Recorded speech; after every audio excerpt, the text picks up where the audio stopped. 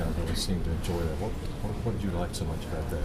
Because, uh, you know, he's just getting better every game and you know, he's just breaking through. You know, we all see the work he puts in. Uh, and just to finally see him, you know, break through, you know, just play great. I couldn't be more happy for him. You know, it's just really exciting because if he does that, you know, our team just goes to another level. You know, earlier, Coach Cal, you know, he'd been gushing about Alex, but then when you looked at the box score, the numbers didn't jump out at you. I wondered if Coach Cal was trying to, you know, kind of build his confidence. Um, Uh, I mean, I wouldn't say so.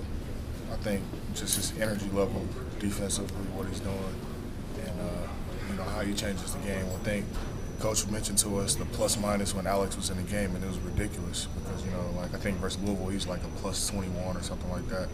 So you know, he's just doing the little things that are affecting the game. You know, today he finally, you know, was able to score the ball. You know, he can rebound really well and run the floor. So he just affects the game in so many different ways. You go up against Alex as much as anyone else in practice. Can you describe the change in confidence from him the past couple months? Well, yeah, he's just more assertive. Uh, from what I see, I mean, I can't really speak for him, but just what I see when I'm guarding him, he's more assertive, you know, sure of himself and uh, playing with a lot of confidence and just attacking and not thinking so much. You guys go are going to go up against zones a lot the rest of the season with him at the baseline, like on the baseline against the zone. I mean, how does that maybe change the dynamic with what he can do there? Uh, it's just so explosive.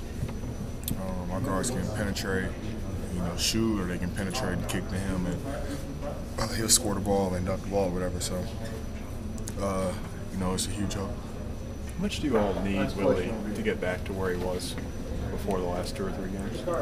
Hmm? How much do you all need Willie to get back to what, the way he was playing before the last two or three games? Uh, I mean, I'm not worried about him. I know what he can do. You know, we've all seen what he can do. It's the biggest thing is, you know, he just has to keep stay the course, I think, and um, you know, just keep getting better, keep putting the extra work in. I know he'll be fine. I know this team. If we want to be where we want to be at the end of the season, we need Willie playing well, and uh, I have all confidence in him that he will.